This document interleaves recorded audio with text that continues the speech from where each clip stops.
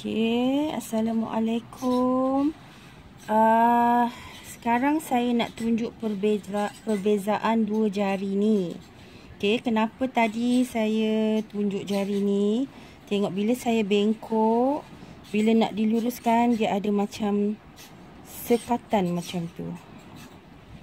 Ah, uh, Okay, kalau dibandingkan dengan jari ni, uh, smooth licin je. Tidak ada macam sekatan. Ha. tapi kalau jari ni meletup. Ha, kalau kita buat pun meletup. Ni sebenarnya adalah jari saya sendiri. Okey apa masalah ni? Okey ini kita panggil triggered finger. Triggered finger ada masalah pada urat di sini Okay, kalau nak jelaskan secara medical term pun ramai tak faham.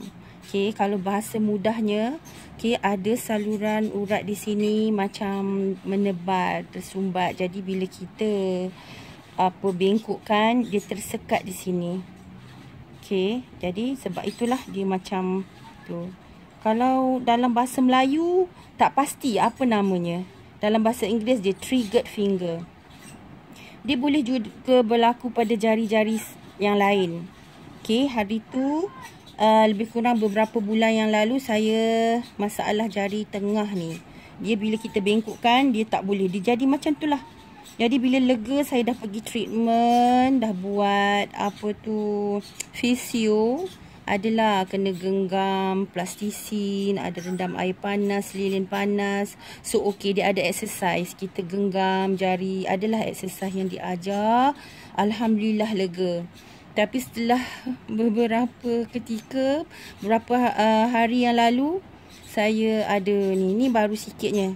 Kalau betul-betul dia melekat, kadang-kadang kita ketat, dia macam ketat.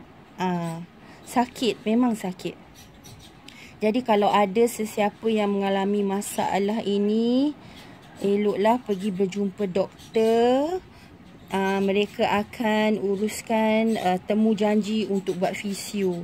Okay, fisio ni dia akan ajar uh, apa tu urutan yang betul untuk melembutkan semula urat ini. Urat di sini. Ada cara lain uh, melalui pembedahan. Tapi kalau boleh kita elakkanlah daripada dibedah. Uh, boleh. Kita amalkan uh, exercise-exercise yang diajar oleh apa fisioterapis. Okay. Uh, InsyaAllah boleh lega. Dia memang sakit ni. Kalau pagi-pagi keras. Okay. Kalau tak ada masalah. Ha, tak ada masalah ni. Tapi kalau ini tengok. Memang masalah dia hmm. ni baru nak jadi. Jadi uh, itulah sajalah nak share dengan kawan-kawan. Okay, kalau ada sesiapa okay, mengalami masalah ni sebenarnya dia disebabkan oleh uh, overuse of the hands the fingers. Kita banyak buat kerja. Selalunya dia akan dialami oleh wanita-wanita yang melebihi usia uh, lima puluhan. Okay. Jaga diri masing-masing. Buat kerja berpada-pada. Jaga kesihatan. Okay. Assalamualaikum.